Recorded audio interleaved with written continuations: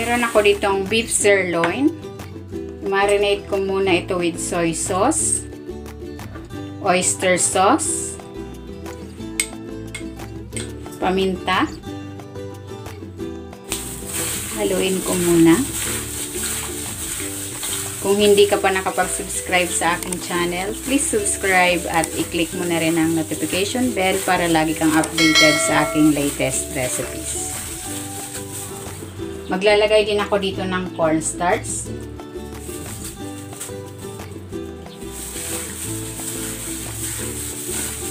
Ayan, ibabad muna natin ito for at least 30 minutes.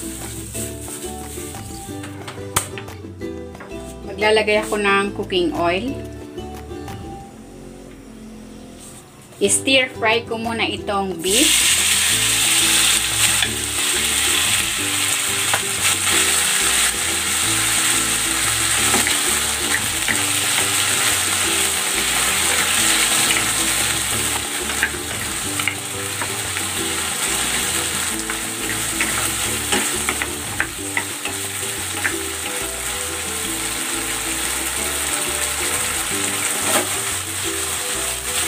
Ayan, okay na itong ating beef. Hahanguin ko muna ito. I-prepare ko muna itong sauce.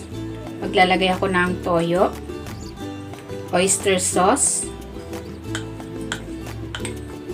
suka, ketchup, black pepper, at maglalagay ako ng sesame oil. Haluin ko muna ito.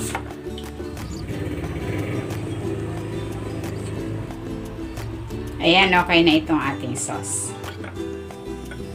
Magigisa na ako ng luya.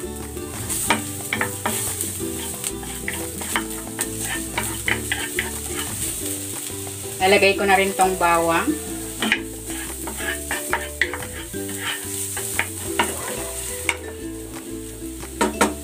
Ilalagay ko na rin tong sibuyas at ang bell pepper.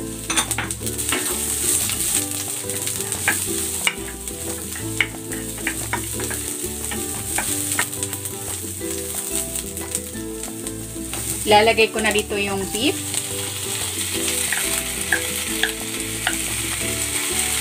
At ibubuhos ko na yung ginawa kong sauce.